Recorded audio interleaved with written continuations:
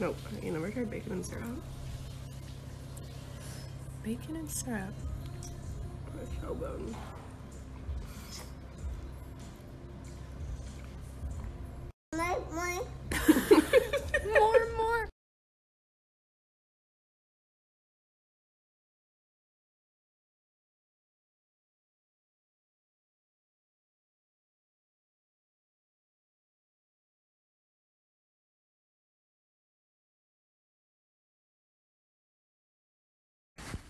Chelsea, you're not close enough to me. You're not.